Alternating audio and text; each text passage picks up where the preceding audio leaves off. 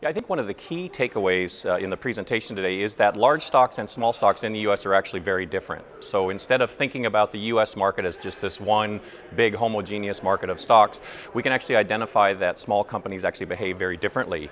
Uh, that's not only in a return sense, so I think there's a lot of academic research and practitioner experience uh, that small caps generally have outperformed large companies uh, over long periods of time, but also I think more importantly is that small cap stocks generally have higher volatility. Um, so if you look at, you know, regardless of whether we are in up markets or down markets, so, you know, small cap stocks generally do have higher volatility. I think also, you know, we know that small caps tend to lead out of generally uh, downturns or recessions.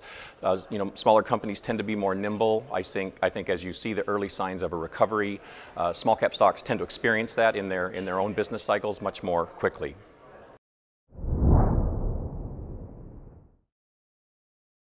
Yeah, I think so. There's obviously an opportunity for products that you know take advantage of the fact that there's this this higher volatility. It is very consistent, you know, not only in terms of its absolute levels, but also relative to large caps.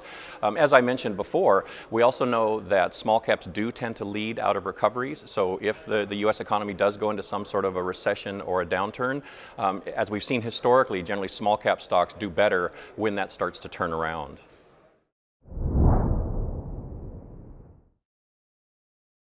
Well, I think you know we spend a lot of time dealing with investors of all types, institutional investors, wealth managers, um, obviously all investing in index type products, and we'd like to think that there's a, an incredible ecosystem uh, with the, the, tools we have, like with option type products, option strategies, that enable them to manage those investments, you know, even even more successfully. So whether they actually have you know return-seeking strategies using options or volatility um, management type strategies, again, that helps all investors achieve better investment outcomes.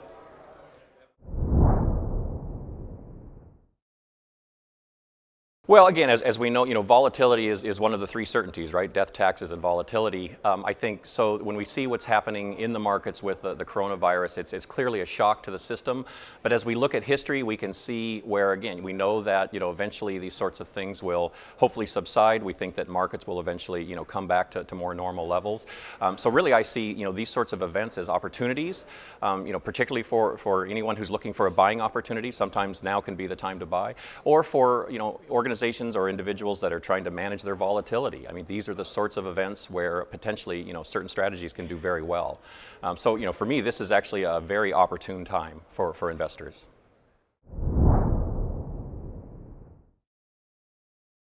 Yeah, I think it's a very important characteristic when we talk about the distinction between large U.S. companies and small U.S. companies. You know, we know that large U.S. companies tend to be more globalized, so they tend to have a higher percentage of their revenues and profits coming from outside the U.S., whereas small companies tend to be more domestically focused. And so where this really becomes important is when you see global situations like the credit crisis back in 2008, right now with the coronavirus, these are obviously global events that, you know, affect companies globally. But when you actually look at the impact on on the types of stocks in the US, you'll see that that has a more direct and immediate impact on large stocks because it impacts their revenues directly, maybe not as much with small stocks. I think what's important though to recognize that in many cases small stocks are suppliers to these large companies. So while small companies may not see a direct hit in their own revenues, you know, immediately following these sorts of global events, potentially there can be downstream effects. So as, as large companies potentially start to cut back on, on, you know, from their suppliers, those can be small companies. So there is potentially a delay in terms of how global events can impact small cap companies.